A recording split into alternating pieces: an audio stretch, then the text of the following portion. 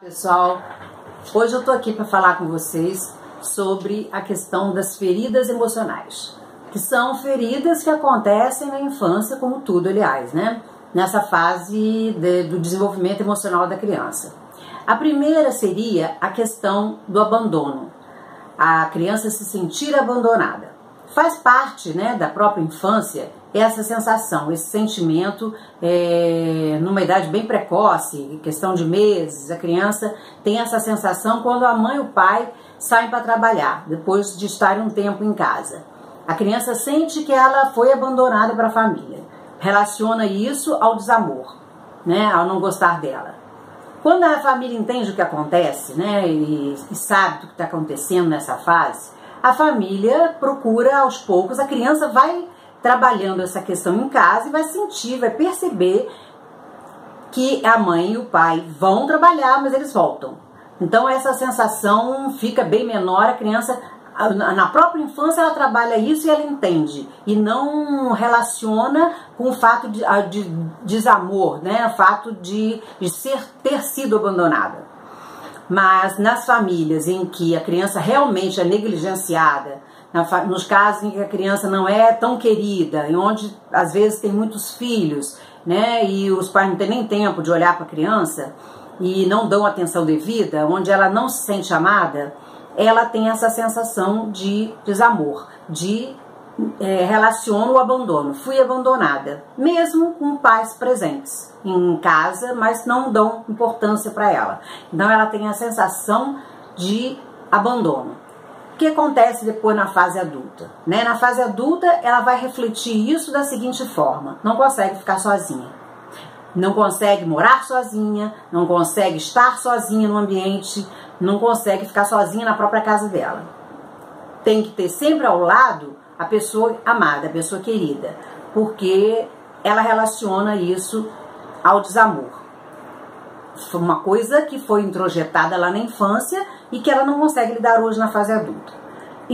Claro que isso acontece em graus variados, né? Umas mais, outras menos, num grau, muitas vezes que a pessoa não consegue lidar com isso, ela não consegue ficar sozinha, nem morar sozinha, nem estar sozinha, nem estar com ela mesma, né? Porque essa sensação remete a não, não gostam de mim, ninguém me ama, fui abandonada.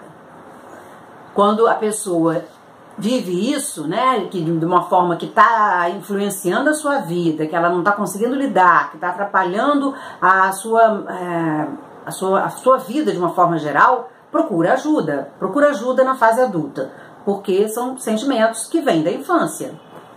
Um outro sentimento é a sensação de rejeição, o sentimento de rejeição. Isso a criança na infância não se sentiu realmente muito amada e querida. Ela não se sentiu como ela gostaria. Ela tem essa percepção. Não quer dizer que foi realidade, mas é a percepção da pessoa. E aí é o que importa. O que importa é o que ficou para ela esse sentimento de não ser amada, não ser querida. Então o que ela faz? Ela não consegue lidar com situações em que ela tem que se expor né? Muitas vezes é uma pessoa de sucesso e tudo mais, não aceita críticas, porque ela vê a crítica como uma rejeição a ela. Ela vê a crítica como algo que ela fez que não agradou. Muitas vezes ela não percebe o sucesso que ela está fazendo, nem percebe que ela está bem profissionalmente ou mesmo fora do, do, profissional, mas ela sente qualquer crítica como algo, é, uma rejeição a ela. É, essa, essa coisa também se vê muito na, na escola, né? A criança não participa de grupos. Nos grupos de, de estudo, em que tem que apresentar trabalho e tudo mais, a criança nunca quer apresentar o trabalho. Ela não apresenta, ela sempre joga pro coleguinha, joga pro amiguinho e ela não apresenta o trabalho. Medo de se expor, medo da rejeição. Não, então, esses fatos influenciam a vida adulta. A, a criança não morre. A criança ela vive na vida adulta. É o que fala mais alto no emocional do adulto. É aquela criança, é tudo que ela viveu. Então, quem tem esses problemas, gente, que está atrapalhando a sua vida, que está impedindo de ter um sucesso profissional ou qualquer outro tipo de, de, de sucesso na vida, né? Não consegue lidar com esse tipo de coisas, coisas que impeçam de viver normalmente, procurem ajuda, busquem ajuda, não fiquem com esse problema. Não é vergonha nenhuma você buscar ajuda se você não consegue lidar com aquilo. Eu acho que a questão de se conhecer um pouquinho ajuda nos relacionamentos, ajuda você a viver melhor, ajuda você a conviver melhor com as suas coisas e com as pessoas. Bom, está faltando três é, feridas ainda emocionais que a gente vai trabalhar no próximo vídeo e eu queria quero falar bem delas porque são coisas que afetam a vida adulta. Quer dizer, eu estou falando de uma criança que existe no adulto.